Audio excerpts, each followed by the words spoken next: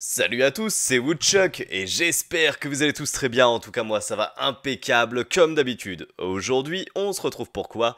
Alors je voulais vous présenter 4 decks low cost pour monter les rangs en ce début de mois. On va filer directement sur les 4 decks en question.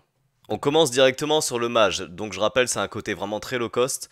Mage mecha un petit peu, on est orienté vraiment sur le côté mecha avec ce côté boule de feu aussi. J'ai rajouté le sanctuaire Noctocap que j'aime beaucoup, hein, que j'aime beaucoup pourquoi? Pour contrer un petit peu le voleur miracle si vous en croisez, ou un énorme body à un tel tour, et je trouve que ça a de l'intérêt d'avoir un petit squelette, de pouvoir geler un serviteur. En plus, en as, tu peux en avoir 6 en tout, donc c'est quand même pas mal, je trouve, c'est quand même pas mal. Donc voilà, j'ai remplacé, euh, j'ai mis Sanctuaire Noctocap à la place, en double, à la place de Gaia et de Ini, qui sont quand même des légendaires, donc voilà ça me paraît être plus simple. Sinon, vous avez aussi l'ensorceleuse à mettre, si jamais c'est encore moins cher à la place de Sanctuaire Noctocap. Mais personnellement, je préfère cette euh, version-là. Donc voilà, euh, j'adhère plus, on va dire.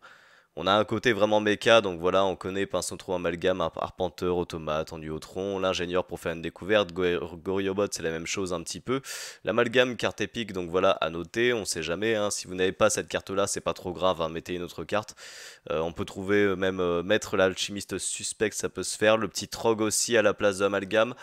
le paysan aussi, ça peut se faire. Le trog étant le meilleur choix, je pense, personnellement, à la place d'amalgame. Donc voilà, pour agresser rapidement le côté euh, écumeuse qui nous permet de récupérer un spell, donc voilà. Forcément, on n'aura pas les deux petites 1-1 vu que c'est on n'a pas de sort de givre, mais on apporte des grands fonds à, récupérer ou la boule de feu. Donc voilà, pour avoir un combo avec le côté méca requin et full méca, on connaît au bout d'un moment. Ça fait toujours aussi mal par contre le méca requin, c'est ça qui est fort. Nettoyeur d'Ashara qui est quand même une carte essentielle, tout comme l'opératrice hein, de toute façon. Et boule de feu aussi, pareil, vaisseau mère, même système. Donc voilà, la liste est vraiment pas chère, c'est très simple à comprendre. Euh, comment commencer au mulligan? C'est très simple pince au tronc suivi d'un petit arpenteur des fosses, c'est sympa, ou pince au tronc automate, ça peut être sympa aussi, donc voilà. L'ingénieur des profondeurs peut être sympa au milligan, voilà, donc en tout et pour tout, il y a vraiment de belles choses à faire. Hein. Si vous avez double porte des grands fonds mulligan, ça peut se garder aussi, mais il faut la pièce aussi, il faut du mecha en main, faut réduire tout ça, faut le mecha requin, donc voilà. On en arrive directement sur le démoniste low cost, donc là c'est facile à comprendre. On a quoi du coup Bibliothécaire sur qui profite un petit peu des diablotins, qui gagnent de l'attaque pour chaque diablotin.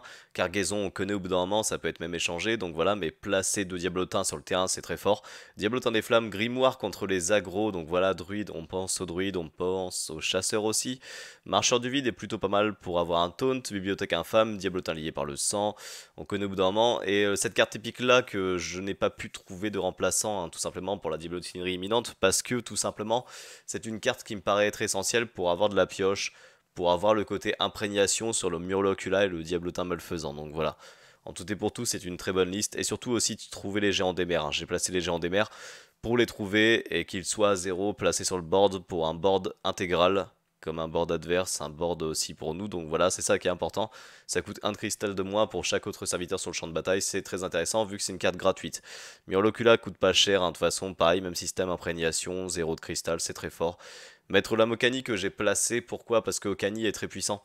Okani empêche une gestion à un tel tour quand on a un board qui est plein et derrière on vient placer barman douteux, admettons, je pense à ça en l'occurrence, tu vois, si tu fais une agression très rapide avec euh, bibliothèque les nerfs, ensuite t'enchaînes avec euh, du board, tu vois, avec euh, diablotin lié par le sang, cercle diabolique, Okani et derrière barman douteux, tu peux trouver le létal vraiment comme ça très rapidement avec une liste comme ça, c'est ça qui est fort.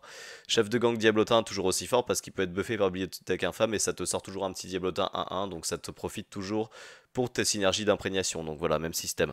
Diablotin Malfaisant étant très très fort, tout comme Murlocula, voilà, c'est des cartes vraiment qui sont fortes. Hein. En termes de T4, ça, ça coûte 0 et ça, ça te place 3, 3, 3 pour 4 de mana, donc c'est très fort. Par man douteux qui te permet d'aller chercher le boost et le finish. C'est très con à comprendre comme liste de toute façon, j'ai essayé de faire au plus simple. Donc voilà. On en arrive directement sur la version low cost du chasseur. Donc là, la version low cost, j'ai remplacé quoi par quoi, vous allez me dire. Euh, le Raznadjan, on a trouvé un remplaçant, c'est le cherche-sang. Cherche-sang qui te permet quand même d'avoir un avantage contre un druide aggro, admettons, contre un autre chasseur, contre beaucoup beaucoup de classes aussi, parce qu'il y a beaucoup de serviteurs à deux points de vie. Donc voilà, c'est très intéressant d'avoir la victoire honorable, de booster son arme, d'avoir une arme assez violente. il y a très peu de casse-armes dans la méta actuelle, il y en a vraiment plus du tout même. Parce que ça casse un petit peu certaines decklists et forcément ça profite euh, à un deck avec une arme assez intéressante comme le cherche-sang dans un deck low cost tout simplement. Donc voilà, même système. Euh, on a deux cartes épiques, même système, pareil, deux cartes épiques Esprit Sauvage. J'ai pas placé la charge, je vais vous montrer ça tout de suite. Le cerf chargeant, je ne l'ai pas placé. Pourquoi? Parce qu'en fait, euh, carte épique, donc ça coûte un peu plus cher. À la place de ça, j'ai placé autre chose, ne vous inquiétez pas toujours le même système. Donc le baraque, on l'a remplacé par pistage. Pistage qui est quand même assez sympathique, je dois dire. Donc voilà, invité timbré qui est toujours là, avec les trogs aussi. Donc invité timbré, c'est serre chargeant que j'ai remplacé par invité timbré, qui peut être trouvé sur le cabotron. Cabotron qui est dans cette liste. Hein. Pareil, même système, c'est pas cher et ça combine super bien avec le pince au tronc. Biscuit pour chien est super cool, la braconnière aussi. Donc voilà, le côté graine toujours, tir réflexe, visée double glisse froid et ce côté dégâts collatéraux. Le Okani qui est ici pour empêcher une gestion. Donc voilà, Esprit Sauvage, on peut pas s'en passer parce que c'est une carte qui est excellente en termes de graines. Parce que tu viens placer glisse froid, imaginez. Esprit Sauvage, ça te ramène quand même 4 body d'un coup, tu vois c'est pas rien, tu vois, c'est pas rien. Tu peux aussi avoir l'arme, euh, le cerf, mais le truc c'est que le cherche-sang, tu t'attends à le toper avant, et généralement, de toute façon, tu as le temps avant de voir venir la graine, tu as le temps de voir venir les tours, ça ne se réveille pas tout de suite, hein. donc c'est ça qui est important à noter, le cherche-sang peut avoir son intérêt dans les premiers tours. Donc voilà pour cette liste, elle est facile à comprendre, qu'est-ce qu'il vous faudrait au milligan de préférence? Pinceau-tron suivi de Cabotron avec ce côté euh, esprit sauvage, pourquoi pas, hein, ça peut le faire aussi. Hein. franchement, ça peut être une agression très rapide, très violente. Dans certains match-ups, ça dépend en fait du match-up que vous avez. Le Trog est très fort contre un voleur, contre un druide, contre un mage, contre euh, beaucoup de classes. Hein. De toute façon, le Trog est très fort. La meilleure entre matière, tout le monde vous dira que c'est Trog ou Ondulance, suivi d'un biscuit pour chien, suivi d'un bélier de monte. Mais tu as d'autres plans de jeu. Tu peux avoir la vitesse timbrée au milligan, admettons, suivi d'un cherche au sang si tu contre un druide aggro, admettons dans les rangs assez bas. Ça peut se faire aussi, hein. attention. Hein. Parce que ce genre de saloperie, plus ça aussi, ça peut être très fort contre un aggro, hein, à noter. Pareil, même système, filet barbelé, ça se garde pas mulligan, mais à un moment, ça peut être très très fort contre un aggro, contre un druide en l'occurrence. Parce que deux points de dégâts sur deux serviteurs différents pour un de mana, c'est très fort une fois que tu as joué euh, un côté naga. Donc les nagas, forcément, t'as quoi? T'as ondulance, t'as ce côté glisse froid. Donc voilà, en tout et pour tout, c'est une très bonne liste. Et de toute façon, dégâts collatéraux, tu peux aller chercher un létal euh, contre un mage, mage squelette, spooky mage, sachant que ce sont des decks très puissants. Donc voilà, les mages sont assez chiants et je peux comprendre totalement le côté dégâts collatéraux contre les squelettes est très puissant. Donc voilà. La liste se base sur vraiment une grosse puissance de frappe. Hein. Là, c'est vraiment du tout droit à l'état pur et il n'y a pas à réfléchir en fait, vraiment. Donc voilà. C'est ça qui est assez facile à comprendre avec le chasseur pour monter les rangs. Et forcément, le numéro 1 que je vous recommande, c'est euh, le druide agro. Le druide agro, cette liste-là, pas une autre. Il y a bien sûr certaines listes avec euh, puissance du fauve qui sont assez intéressants aussi, hein, vraiment le petit spell T2. Mais euh, cette liste-là, vraiment, je la préfère à d'autres parce qu'en termes de pourcentage de win rate par rapport au nombre de parties, c'est vraiment magnifique. 60% hein. pour ma part, donc en tout et pour tout, cette liste-là, en étant low cost, elle est très puissante, très viable. J'ai déjà fait une vidéo dessus d'ailleurs, c'est vraiment horrible. Le côté forme aquatique, voilà, pour faire le dragage, découvrir une carte qu'on peut jouer directement, sachant que la curve est assez basse, donc forcément tu vas trouver ce qu'il faut pour trouver la synergie. Au bout d'un moment, acolyte est sympa pour euh, mettre sur ondulance féroce, admettons au mulligan, hein, si vous avez la pièce, ondulance, acolyte pour défendre l'ondulance, ça peut être fort. Pareil, même système paysan, acolyte pour défendre le paysan, admettons si tu as un mage en face qui peut te ping ton paysan.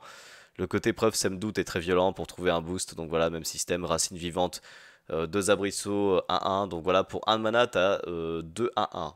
Pareil, ça ressemble à la cargaison du, démoniste en fait. Donc voilà. Le semi, ça peut être. Euh, oh putain, qu'est-ce que j'ai fait moi? Ta, ta, ta, je vais rajouter le semi. Je fais des conneries. Le semi qui peut être voilà divisé en deux, tout comme ce côté racine vivante par la charpentière en double. Donc c'est assez sympathique d'avoir un d'attaque à tous les serviteurs. Si on a un board complet, imaginez, ça rajoute quand même de la puissance. Hein. Ça fait 7 d'attaque en tout hein. sur 7 euh, serviteurs. Ça peut se faire, hein. ça peut se faire, c'est déjà arrivé plusieurs fois. Le côté Trog au est très fort. On rappelle, voleur.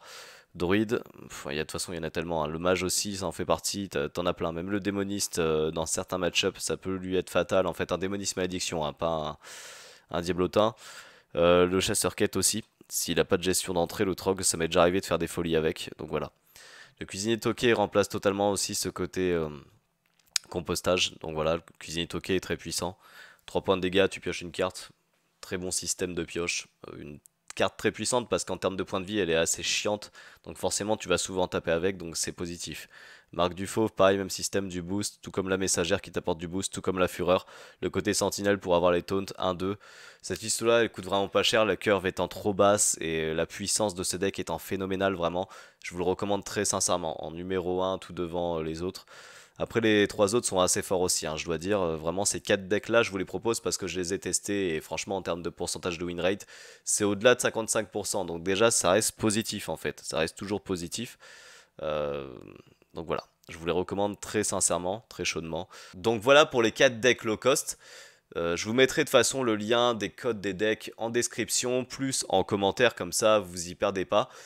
Si vous avez des questions, surtout n'hésitez pas à me les poser en commentaire, je vous répondrai comme d'habitude, il n'y a pas de souci, que ce soit sur n'importe quel deck ou sur Hearthstone de manière générale, de toute façon il n'y a pas de souci. Quant à moi, je vous fais plein, plein de gros bisous, prenez soin de vous surtout, et à la prochaine, bon jeu à tous